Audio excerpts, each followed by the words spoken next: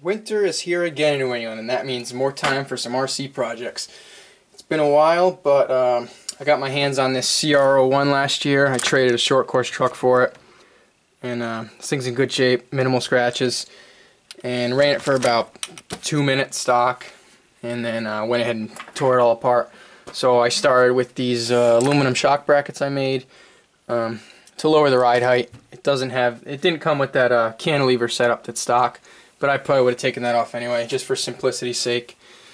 Um, that lowered it nice. I've always preferred a lower centered rig over something that has a ton of ground clearance because, I mean, wheel speed can usually get you out of most situations that uh, a huge uh, ground clearance rig is just going to flip constantly, and I get really aggravated when your rig's always flipping when you're out on the trail.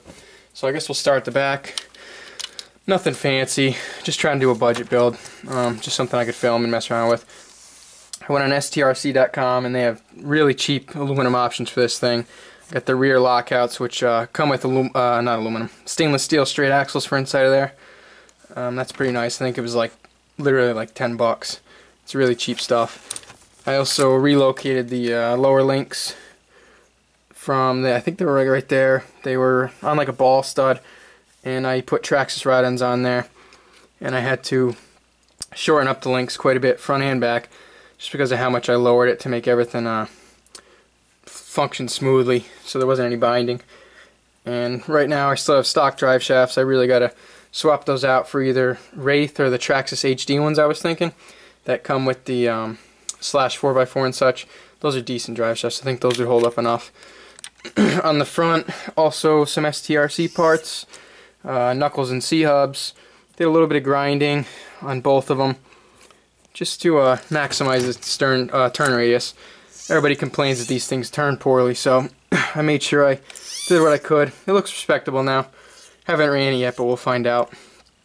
Um, I had a Hitec 645 MG laying around. Threw that in there with an aluminum horn. And um, I'm going to be running this on a Castle 6 volt BEC, so I should have some decent power. I already uh, made up a nice little aluminum upper steering link. I still got to fabricate the lower one whenever I get time. Um, stock tires and wheels for now. I'd like to run 1.9s. I know some people online complain that these axles are too wide for 1.9s, but I've seen some pictures and I think it looks uh, looks alright. Um, going to be running Tamiya Silver Can motors. I like these things, they're cheap. So I just stock up on them and I can go mudding or whatever and don't really care if you smoke one.